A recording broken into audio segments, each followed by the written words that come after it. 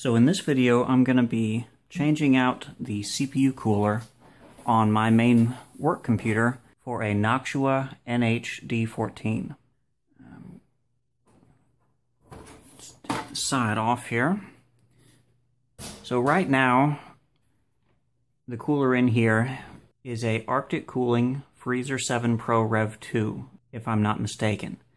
Uh, this was installed, oh, probably six or seven years ago it's done an okay job. I recently put in a new 6-core processor and overclocked it to 4 gigahertz. And basically I just want to get a little bit uh, lower CPU temperatures. So that's why I'm doing this. At the moment, with the programs I run, the CPU temperature is going up to about the mid 70s, which isn't too bad, but I'd like to try and get it a little bit cooler. So to take this off, I need to remove the fan first, which should just pop off. And I will disconnect its cable to the motherboard.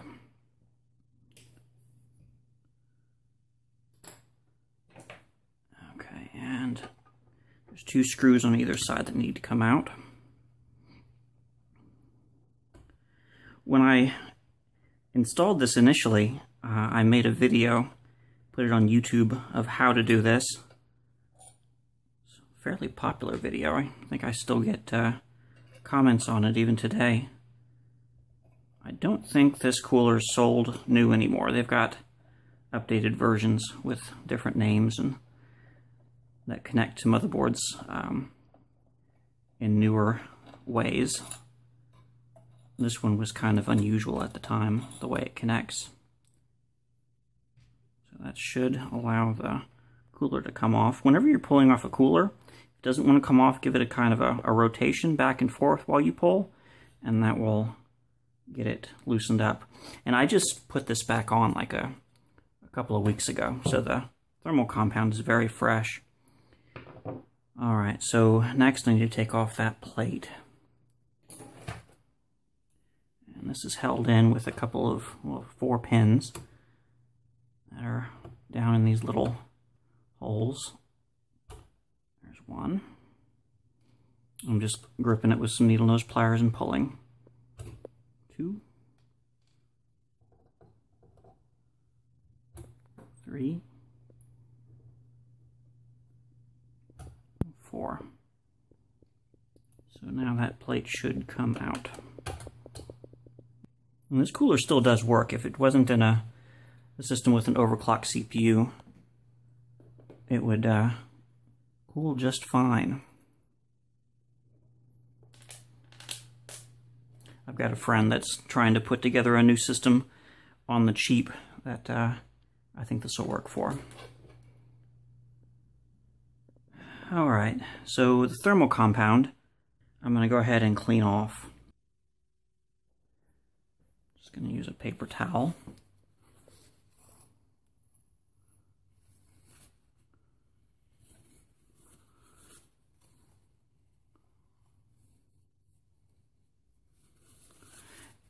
I'm going to be putting on the same thermal compound, same type, which is Arctic Silver 5. Just trying to get the majority off. Doesn't have to be perfect. All right. Stand this up.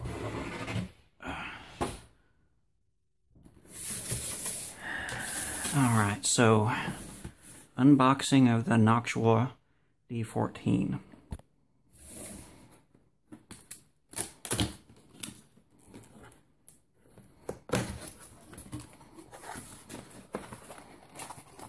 That should have all the hardware for it.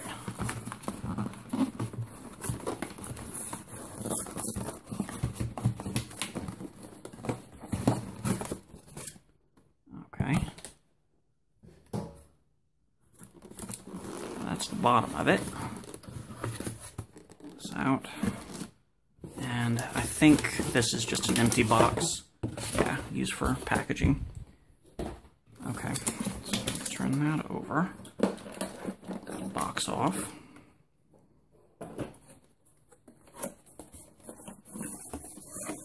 I had already opened this and showed it to a client and pre-packed it, so it right brand new out of the box, it may not look exactly like this.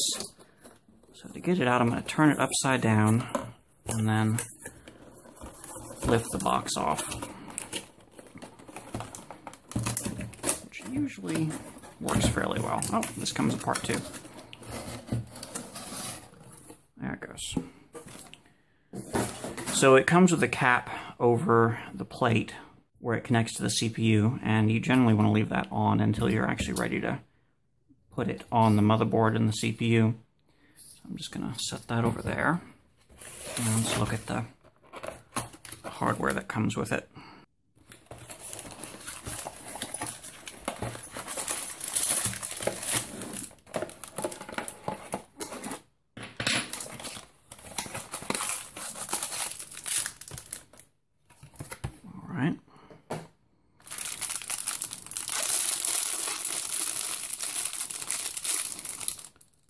common parts.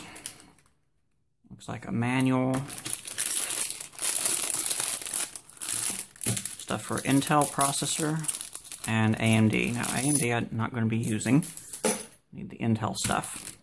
So it comes with a screwdriver, which is nice. So these are the common parts, and this is the Intel specific stuff. Get this open.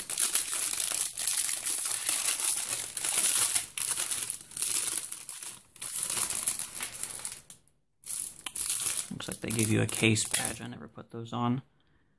That's a Y adapter. That, I think that's for reducing the fan speed. And I think that one is as well. So you can make it a little bit quieter if you connect this between the fans and the, uh, the motherboard. Uh, some fan mounting screws it looks like and that's another way to mount fans with rubber to reduce vibration. They give you some thermal compound, but I think I'll use the Arctic uh, Silver 5 I've got. Alright, so let's look at the Intel stuff.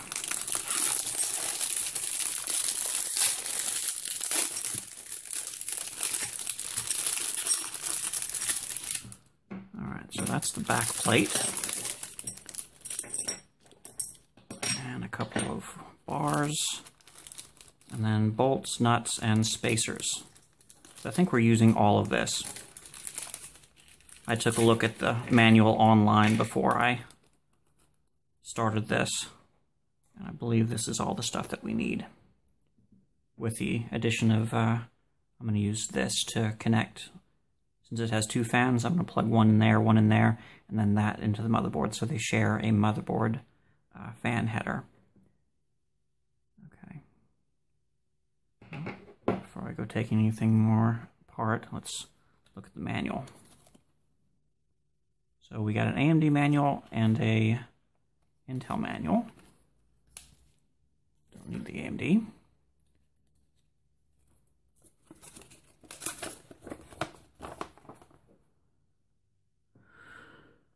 Okay, front and back. So this is the start. Step one, so it goes over the parts that you're going to be installing and the steps. And this looks like the same as the online manual, which is great. Um, a couple of weeks ago, maybe a month ago, I installed a um, the newer version of this, the NHD15, onto a client's computer, and the directions that came in the box were not complete. It left out some some key important information. So we had to go to the website to get the, the full manual, but this is good. All the directions are included here. Great. All right. So yeah, this is the, the DH, I'm sorry, the NHD14, and this is compatible with socket 1366, socket 1156, and socket 775. And those are older CPUs. The NHD15 supports all the latest CPUs from Intel and um, AMD. Although I don't know it supports the AMD AM4 CPU, which is coming out soon. Okay, so step one is to remove the motherboard. And I'm not going to do that because I don't need to. on this case, it's got a cutout on the case that gives access to the back of the motherboard. So I'm going to spin this around and take the other side of the case off.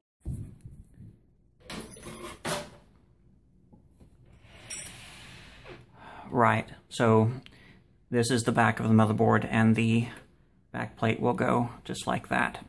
So no reason to take the motherboard out of this case, which is great. It's a pain. All right. So let's see. And the directions say on socket 1366, which is what I have, and LGA 1156, the supplied backplate will install over the mainboard stock backplate, so the mainboard stock plate must not be taken off.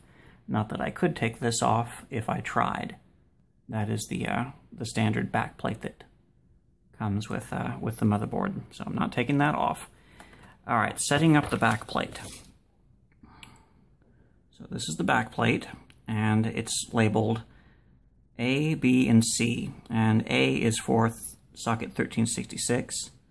So what I need to do is take this bolt and put it through the A location around the corners.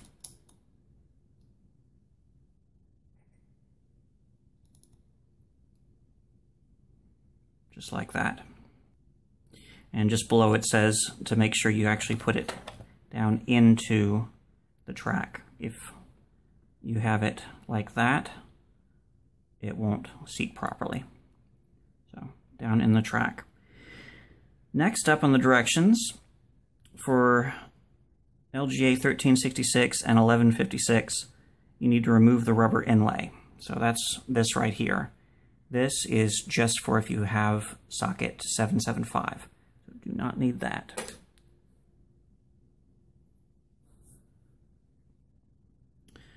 So next up is attaching the back plate. And that really is just getting the bolts to go through the holes in the motherboard.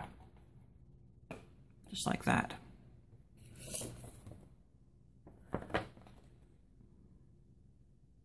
And the next thing is if you have socket 1156, which I don't, you need to make sure that the two cutouts, these two right here, are aligned with screws on the main board's backplate. So apparently on socket 1156, there are two screws somewhere along there that these little cutouts need to go over.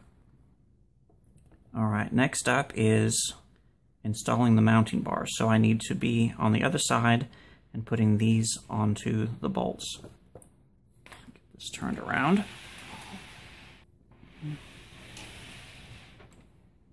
All right, so these spacers need to go onto the bolts.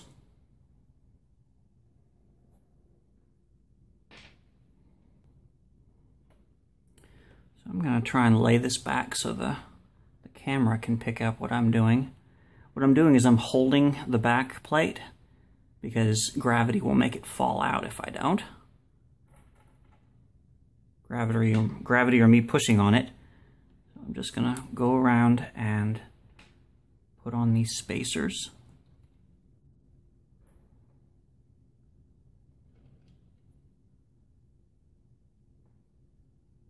Like that.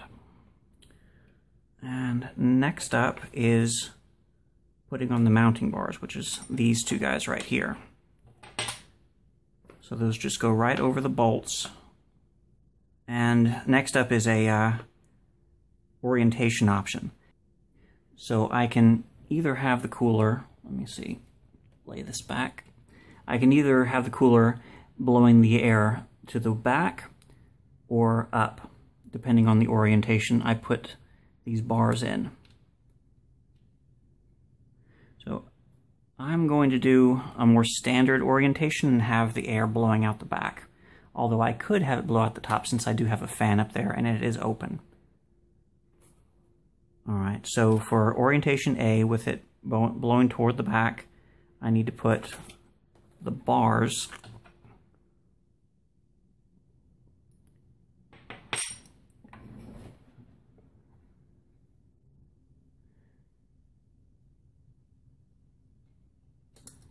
across the top like this.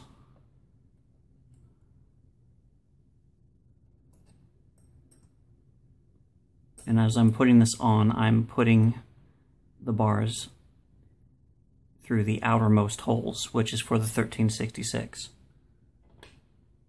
There's also a notice on the manual to make sure when you're putting these on that the curved part goes toward the outside. If you put it the other way, uh, it won't align properly. Okay, so I'm just gonna hold that in and let go for a minute.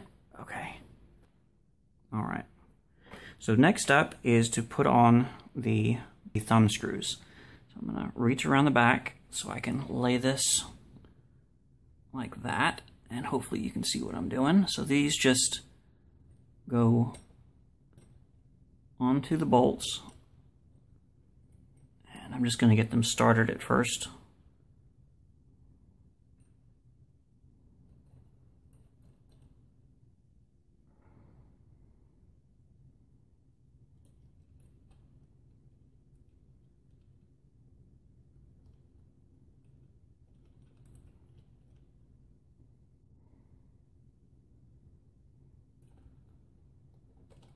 Okay, so now I'm going to finger tighten them.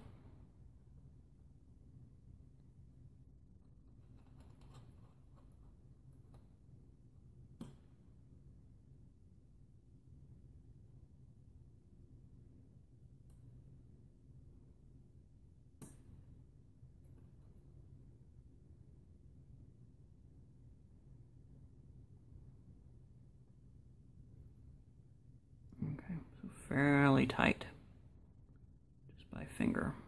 I'm just going back and forth and making sure they're all going down evenly. Like that. Okay.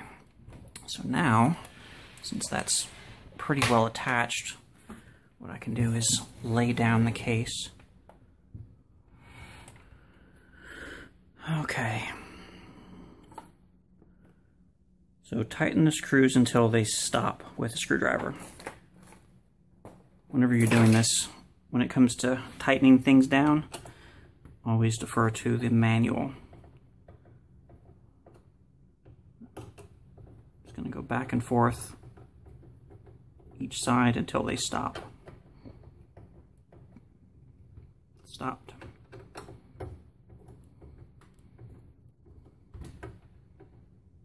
stopped. Okay, now I'm do the bottom parts.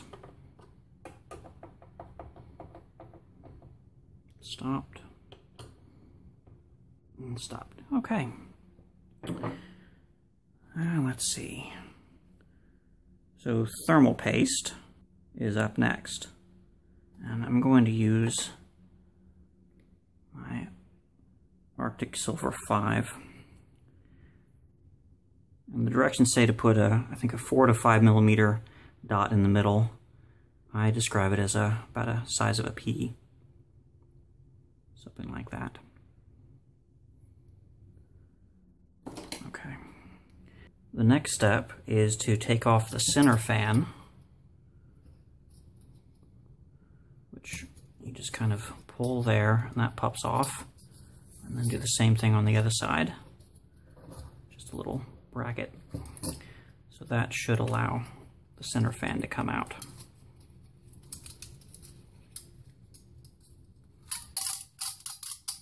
It's in there tight.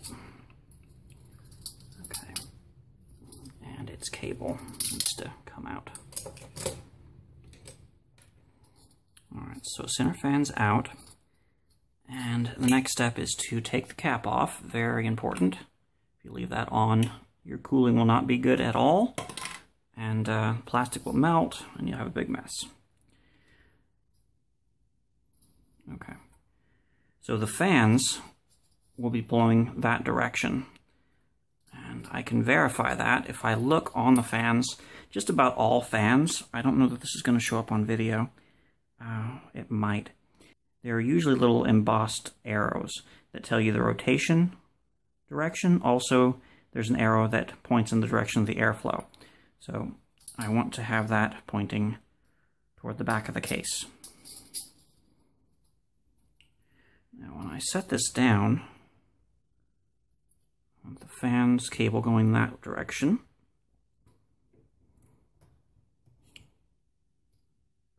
And I basically just want to set this on the center. And what's happening here is these screws down here on either side will be going into this little screw post on either side of the bracket. Just generally get it lined up to the center. Looks like I'm going to have trouble with the height of my RAM. Okay, so a little bit of an issue. I should be able to work around it.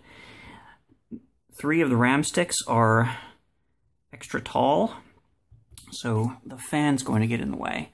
What I'm going to do is just temporarily take this off, and when I put it back on, this fan, I'll just mount it a little bit higher. Let's try that again.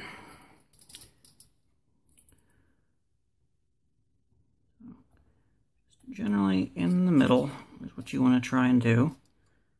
Yeah, so the cooler itself uh, is not going to be touching the RAM. I'll just have to make an adjustment to the position of this uh, outside fan. Not a big deal. Okay. So they give you a screwdriver, but I'm going to try and use my usual screwdriver. And to begin with, what you want to do is get the screws on both sides started into the hole. It's very often difficult to, to feel. So I don't think they're going in. Whenever they start, the screws won't be as floppy. See, that's not floppy anymore. So I've got it just barely started. I'm coming back over here, pushing down, and getting this one started. There we go. So they're not floppy anymore. Hopefully that's showing up on the camera. I can't see. Okay, so from there, what you do is you just count the number of times you screw it in and do the same on either side. You want to get this tightened down approximately the same amount on either side until it's all the way down. So I'm basically counting to eight, eight turns.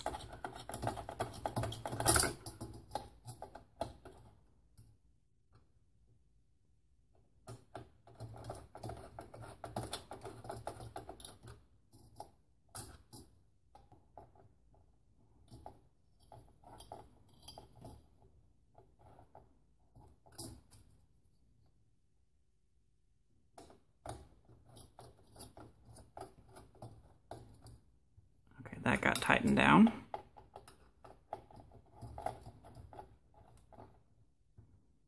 And that's tight. Okay, good. Now the fans. When I put these back on, I do need to make sure that they're going in the right direction.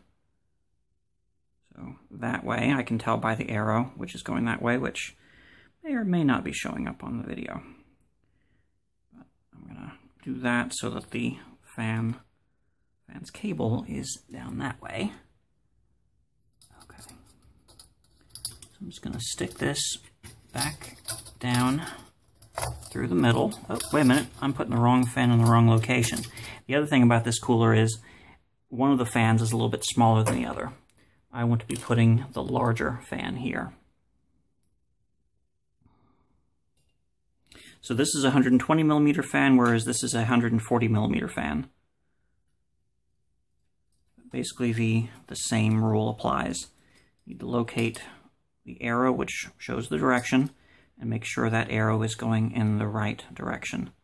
Because want the, want the airflow going towards the back of the case. So this just kind of goes in until it stops. It's sitting down at the bottom of the, the cooler. And you just take the, the clip over with your finger, just so it's on there. All right. Now the other. Same deal. Find the arrows that show the direction. Arrow going that way. Now this will need to be sitting on top of the ram. I'm just going to put it pretty close and bump it up very slightly just so it's not actually touching the ram. That might make some vibration that produces noise if I did that, if I let it touch. Okay, and the other thing is to make sure your case side is going to go on. Yeah, I've got a good three quarters of an inch clearance there. All right, so the two fan cables. Let's see. Look at the directions for the cables. All right. So it's talking about them here. The blue one is the low noise adapter for the 120 millimeter, and the black one is the one for the 140 millimeter fan. I'm not going to use either of these.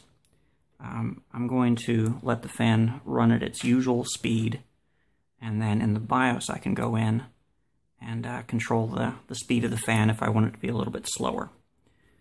Okay, but in order for both of these to run off the same fan header, I am going to use this Y adapter. Okay. I'm just going to get back here. There's no way this is going to show up on the video. It's kind of cramped back here. I'm plugging this into a fan header. It only goes on one way. It's got a little piece of plastic that keeps you from putting it on backwards. Just want to make sure it goes down and connects to the motherboard. What I'm doing is I'm kind of holding it from the far away portion, getting it essentially in the right spot, which might be able to see that. I'm going to use a spudger to reach in and push it down. There it goes. Alright, now the cables just so they're out of the way of fans. I'm just going to take them and put them underneath the heatsink. Basically just get them out of the way. Yeah, nice and hidden. So they're not reaching up and touching any of the fans. Yeah, looks good. All right, so let's stand this back up and put the case sides back on. See, this is the back side. Go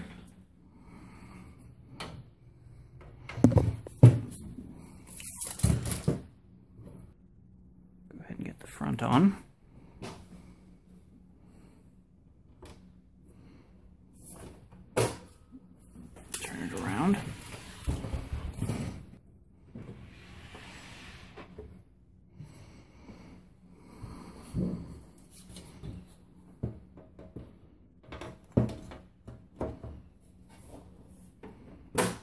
Okay, so I'll get this reconnected.